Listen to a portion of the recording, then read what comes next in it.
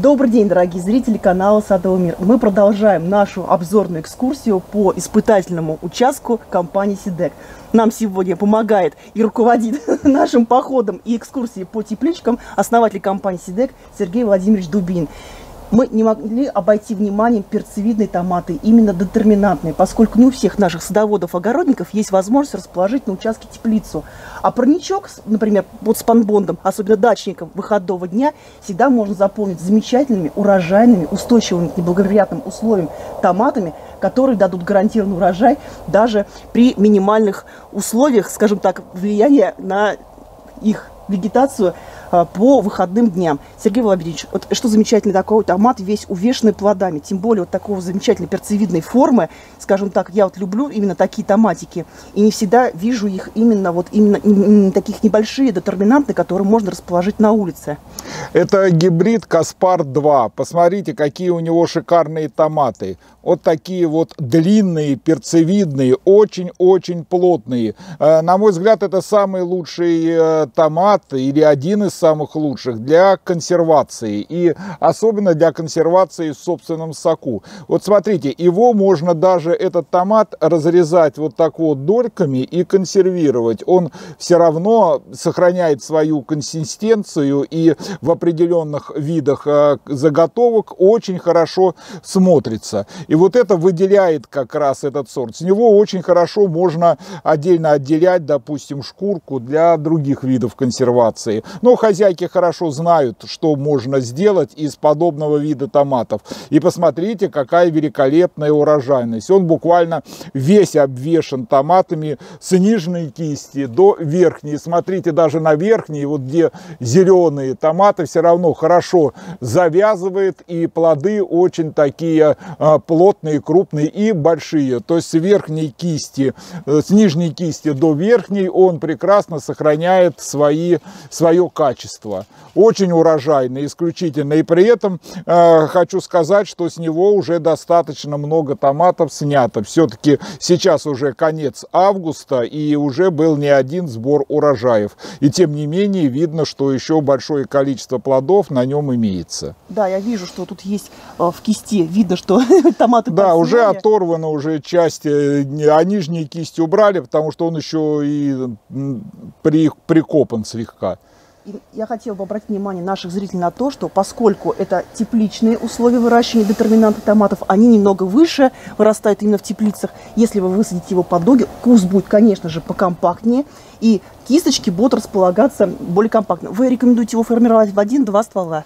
Ну, мы рекомендуем где-то больше, лучше два ствола, но в зависимости от того, опять, какая густота растений. И я хотел бы еще вот на что обратить внимание. Часто у сливовидных плодов, особенно у перцевидных, э, бывает, э, страдают вершинной гнилью. Но вот, вот этому сорту это не свойственно. Некоторые плоды имеют вот такой вот кончик, как вот здесь. У некоторых, наоборот, он как вместо кончика в впадинка втянутый. втянутый, да. Но вот э, все равно вот такие вот шикарные плоды на нем, в общем-то, получаются.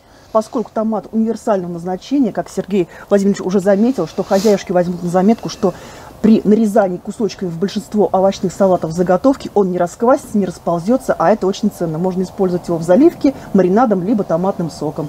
Сергей Владимирович, знакомьте скорее меня вот с этим томатом, компактным, усыпанным совершенно плодами. И что я заметила, они, вот сами плоды очень крепко сидят на плодоножке.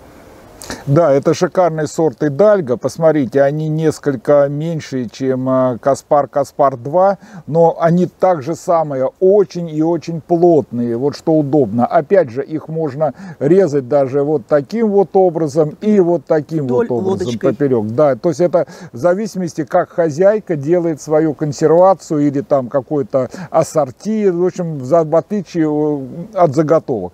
И можно и резать по-всякому, и консервировать консервировать по-всякому. Эти томаты, пожалуй, э, самые лучшие для заготовок. Вот именно такой формы перцевидной. И в основном это, конечно, гибриды. Гибриды более мясистые, более насыщенные и более плотные. И с них хорошо очень можно, опять же, снимать шкурку, кожицу, да? кожицу снимать, да, и консервировать таким образом.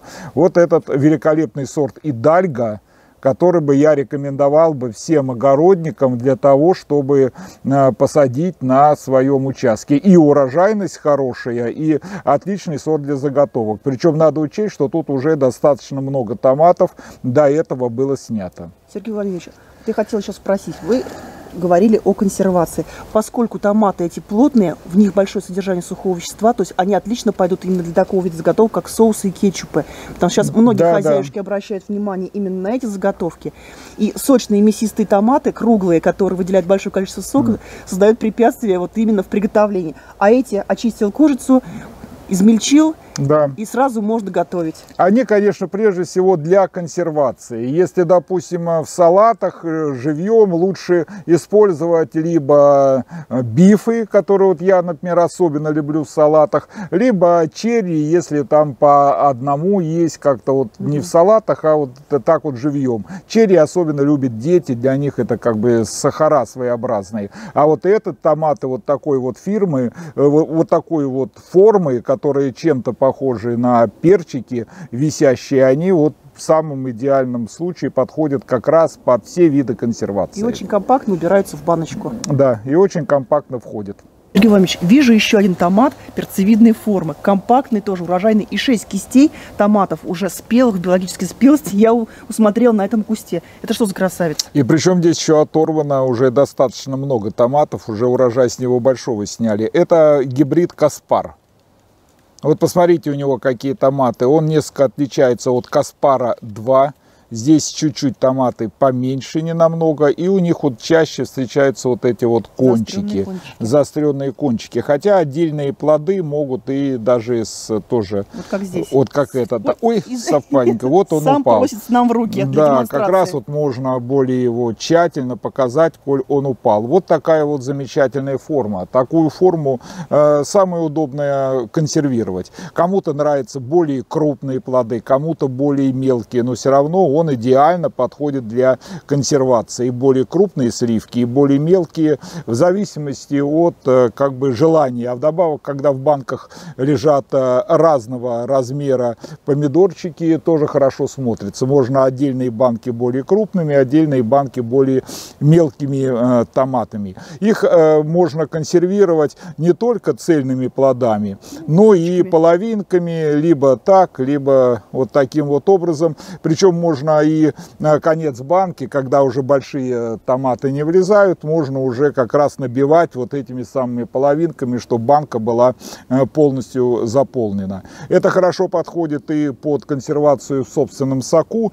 а также и под э, любую другую консервацию, которую предпочитает хозяйка. Сергей Иванович, мы еще забыли еще об одном виде консервации, который сейчас набирает обороты. Это деликатесный вид томатов. Вяленые томаты в масле, вот, со специями. Вот, вот прекрасно. такие томаты можно можно разрезать пополам, вынув семенники, завялить в сушилке, залить ароматным маслом с добавлением трав, чесночка домашнего, базилика. Шикарно, шикарно. И будет шикарная заготовка да. на зиму. Да, придется немножечко попыхтеть, но благодаря тому, что в этих томатах большое содержание сухих веществ, процесс вяления, сушения будет гораздо быстрее. Поэтому больше заготовок вы сможете сделать на зиму. Да, я хотел бы добавить, их можно и просто сушить. То есть э, это, а потом уже зимою добавлять в любые блюда, там первые блюда, вторые блюда, сушеные. Прекрасно подходят. Как вот грибы сушат, так же самое самое сушите Перемалывать, помидоры. делать домашнюю паприку. И... Экологически чистый продукт, изготовленный собственными руками из собственно выращенных томатов. Вот сколько вариантов предложили, пожалуйста. Можно любой выбирать, любой да. вид заготовки, который только может быть. Вот чем и хороши вот такие